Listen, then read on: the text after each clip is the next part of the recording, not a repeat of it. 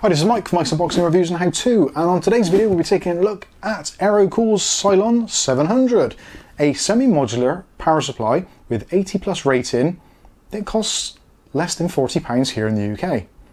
Incredible.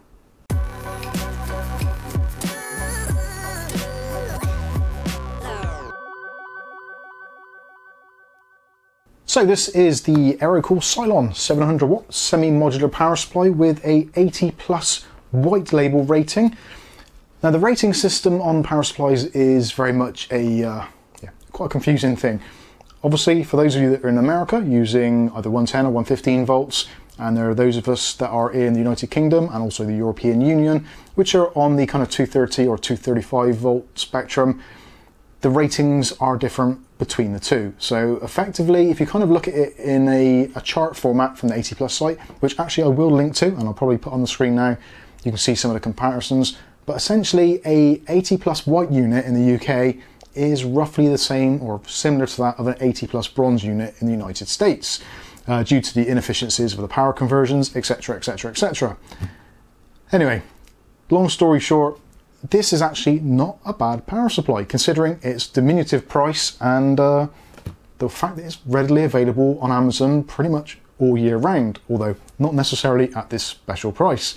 Normally this retails in around the region of about £55, but for some bizarre reason at the moment on Amazon, all of the Aerocool Cylon power supplies are reduced to crazy limits.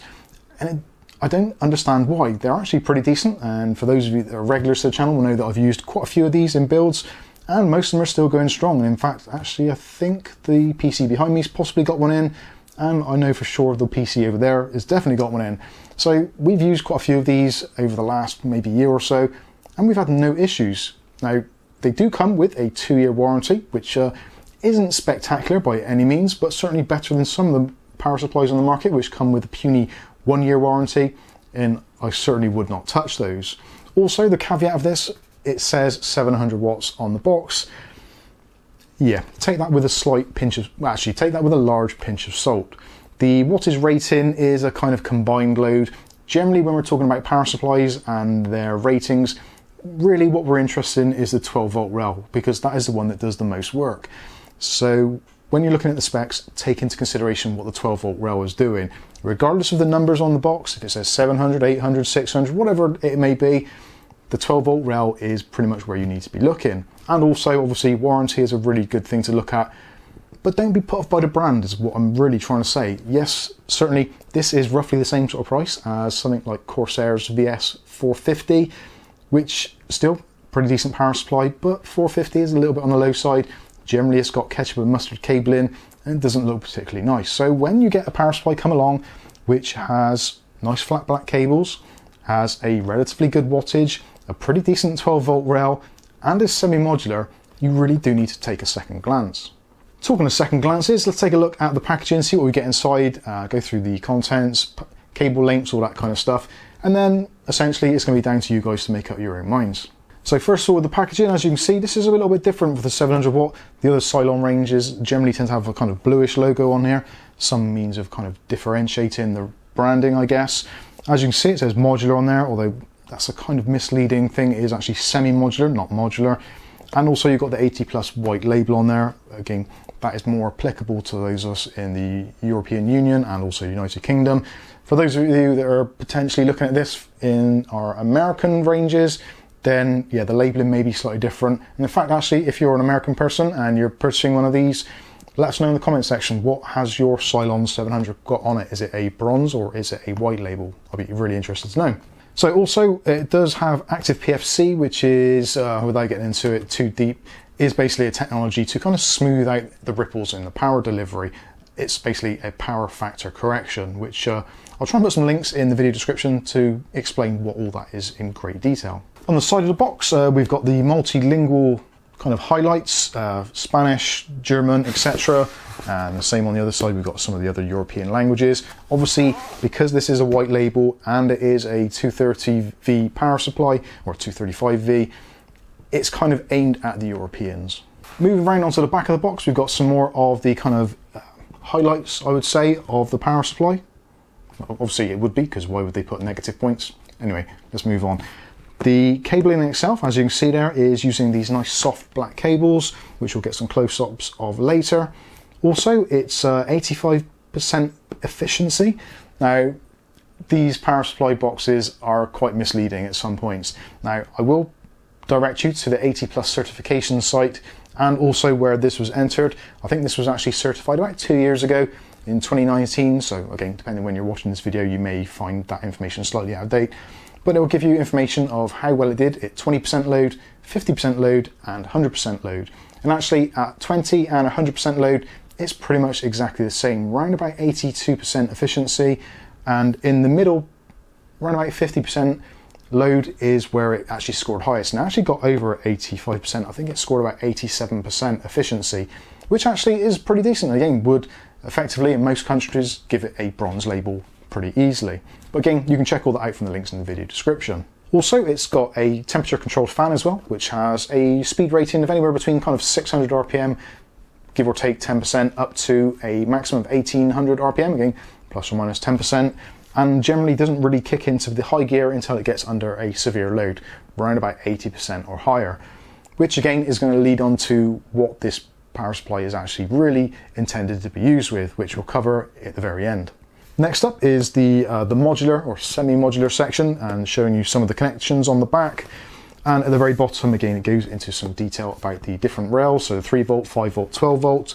It does mention on there the 12 volt rail actually gives out 53 amps on the 12 volt rail, which actually isn't too bad.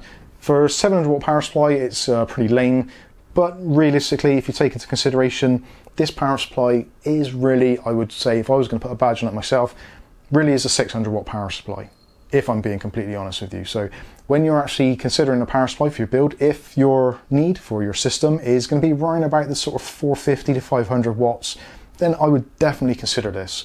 If you're requirements for your PC are a little bit higher than that, kind of 500 to 600 watts, this is going to be pushing it to its edge. And realistically, again, for around right 36 pounds, you're hardly going to be spending that kind of money on high-end components and go with a power supply like this. This is aimed at the budget builders market or for those with slightly lower requirements, lower core counts, or maybe higher core counts but with a slightly lesser GPU, that kind of thing. This to be absolutely fine for. So looking at the connectivity, we'll go through this in more detail when we get out of the box, but you've got a 20 stroke 24 pin main power connector, You've got a 12 volt 4 plus 4, which is your supplementary power supply connector, and that is on one of those easy connect connections, so you can either use it as a 4 pin or an 8 pin if you wanted to. Also, it comes with two PCI Express graphics card connections, and those are splittable from 6 to 8 pin, and there's two of those on there, both on a single cable. And you've got three Molex connectors on there, and also you've got an additional five SATA connectors. So actually pretty decent. So in the box we get a safety information notice. There is the power supply itself, which comes in a relatively poor bubble wrap, but does the job, didn't seem to come through damaged. There is a UK 3-pin kettle lead or PC power lead, a set of four screws to actually mount it into your case, Cable wise, this is the first one. So this is a, actually let's see how long it is. So that one's about a meter long. So yeah, actually pretty, pretty decent size. The actual first connector from the actual six pin is around about 50 centimeters, 52 centimeters. So yeah, it's basically kind of halfway down. So one of those, and this looks to be, I think this is actually going to be exactly the same. So no, this one's actually got a couple of extra Molex connectors on. So yeah, pretty much about the same length, so about a meter in length. And the first cable starts, yeah, roughly about the same, about 50 centimeters in. So this one has a SATA, followed by another SATA, followed by a Molex, and then another Molex on the end. So actually that's pretty handy. So if you've got a graphics card which needs another connector for some crazy reason, or maybe need to adapt something, you can put two Molex into one of those adapters. That's not always the best way of doing things, but certainly, uh, yeah, needs must, and it's nice to have them rather than not. Last up in the uh, the cables box is your graphics card one. Now this is denoted. There is a red connector on the end of there, which goes into the red connection on the power supply. And again, this one is quite short. It does double up on the end, so you've got the two 6 plus 2 pin connectors for your PCI Express. And it's quite nice that it's got these flat black cables, so if you are using both of them, you can kind of cable manage it, put a cable tie around there to keep it all nice and flat. And I actually, I actually quite like these cables.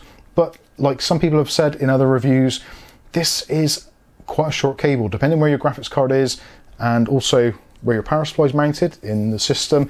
If you're using something like the InWin 101C, which we've reviewed before, which you can check out up here, which actually has a power supply mounted in the top section, trying to get this plugged in and then get the cable to the bottom isn't going to happen. You will need cable extensions for a top mounted PSU.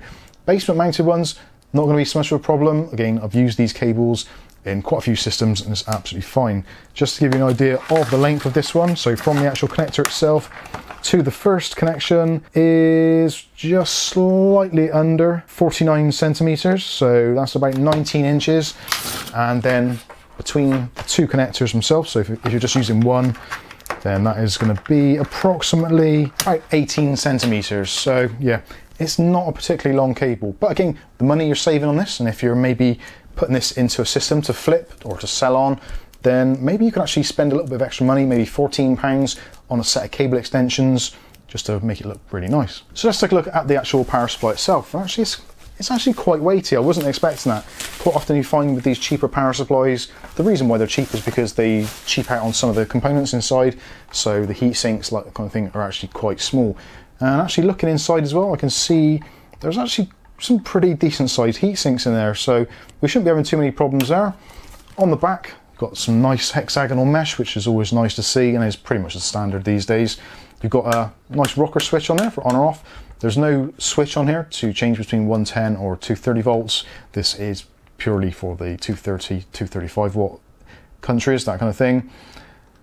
Yeah, pretty much uh, usual size as well. So we quickly measure it.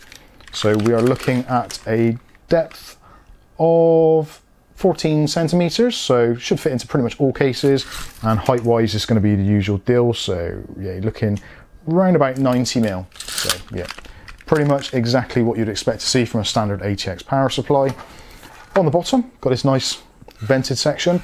I actually quite like the look of this. It's a little bit different rather than having one of those kind of chrome meshes stuck on or whatever. Quite nice, and you've got the Aerocool logo in the middle, which comes with a little piece of plastic covering it, which uh, is always actually quite difficult to get off, and I think that's why a lot of these actually stay on in the case. Anyway, we'll leave that for now. And also inside you've got a 120mm fan, which again is thermally controlled speed sensor wise, so anywhere between the 700 RPM up to 1800 is the max rated on the box. Generally these tend to be quite quiet in my personal opinion. Very rarely do you hear it over the rest of the system. Some people have complained that sometimes there's a little bit of a kind of chirping noise from the fan as it kicks in, but because this is a constant fan rather than one that actually goes to sleep or goes into zero fan mode, that generally eliminates the chirping. The chirp is normally when the fan kind of gets its kick of voltage from the system to actually start the fan spinning after that generally is fine, but this shouldn't be a problem with this unit at all. On the sides you've got the Cylon logo on there and the uh, orange stripe there. On the other side, nothing at all. On the top section, it just basically replicates what was on the box earlier. So I'll uh, give you a close up of that, giving, giving you the voltages. So looking at 20 amps on the 5 volt rail, looking at 35 amps on the 12 volt rail, and also 3.5 is 20 amps as well. So the 3.3 volt and also the 5 volt, exactly the same 20 amps, which gives you the kind of 100 watts. Plus then you get 636 on the 12 volt rail, which bizarrely gives you, uh, yeah, 700 watts. They should definitely think about hiring a new mathematician. But like I said before, 700 watts, I would not rate it as that. I would say realistically, if you're buying a power supply, consider this as a kind of a decent-ish 550 or 600 watt power supply. 700 watts is very misleading in my personal opinion. So let's take a look at the back of the unit. So on the back here, we've got the connections. So you've got connections for your additional ports there for supplementary devices, SATA and Molex, etc and you've got your single red connector there, which is for your PCI Express. Only the one connector on this one, so I think they've taken heed of kind of the sensible solution that really you wouldn't be wanting to use a three connector type graphics card or even an SLI configuration in this. Traditionally, a 700 watt power supply, you'd think with SLI, you could probably get away with it, but I think by taking that away from there and not actually supplying any extra cables to connect up more graphics cards, that is a sensible solution in my opinion. Looking at the cabling again, so we've got the usual kind of uh, flat licorice style soft cabling, which is actually particularly easy to cable manage. I really do like this a lot. And you've got the captive cables, which are kind of semi semi modular setup. So you've got the 4 pin plus 4 pin, which is one of those nice sliding connectors which goes together, which actually makes life a little bit easier when you're trying to actually fit one of these in a slightly tighter case, stops them falling apart quite as easily. But okay, if you just want to use 4 pins, you can do, no issues there. Uh, again, relatively decent length on there for those of you that are interested. So we are going to be looking at approximately 52 centimeters, so not a bad length at all there. And the main connection for your 20 stroke 24 pin, again, it's got those nice sliding connectors, so uh, unlikely to come apart when you're actually trying to physically plug it in. Again, all finished in these nice flat black cables, which I really do appreciate. Okay, so that is a look at the connectivity, uh, the connections, the lengths, etc., etc. So, what is my personal opinion? Well, my personal opinion, you've probably guessed already, is pretty positive. I actually really like these power supplies. For me, they're very cheap, which, hey, it's Mike's Unboxing. We like to do things where things are cost effective. I wouldn't buy trash. I really wouldn't. And if it was trash, I would definitely tell you. Like I said, I've had a few of these now from Aerocool, and they've all done very, very well. Quite a few of the members of the Discord also in the same kind of situation. A lot from England as well, so a lot of people are buying these and using them in flip builds or even for their main systems. The thing to really consider is what you're using with it, and obviously don't be daft about it. If you're buying a Ryzen 5800X and a RTX 3090, clearly this is not the power supply for you. You do need to be looking a little bit higher up the range for that or a different brand altogether. Certainly, if you're building a system based around relatively modest components, say an RTX 2060 and a Ryzen 5 3600, this is going to suit you down to the ground. It's going to be absolutely fine. Again, do take into consideration the 12 volt rail and what your requirements actually are. If you're not too sure, we'll put some links in the video description as well for the PSU wattage calculator, which is really handy for that sort of thing. And will give you a really good idea of what you need. But essentially, it is what it is. For the cost of about £36, which is the equivalent pretty much of some of EVGA's and Corsair's power supplies, kind of lowest end entries, do temper your expectations. This isn't going to be the dual fixel. But certainly, if you're building a system, again, moderate components or just a flip system, and you want to have something in there which is relatively good but not kind of crazy god tier quality and pricing, yeah, definitely worth a look. So we'll put some affiliated links in the video description below so you can check out for yourself. Uh, the price at the moment, I don't know how long it's going to last for, so if you are considering it, jump in quickly just to make sure you can get one. But again, there are other options available. There is also a 600 watt, a 500 watt, and I think there's a 400 as well. So if you're really scraping the barrel, then there's a few options to suit most pockets. So I've been Mike. This is Mike's Unboxing Reviews and How To, and hopefully we'll catch you in the very next video. Thanks for watching.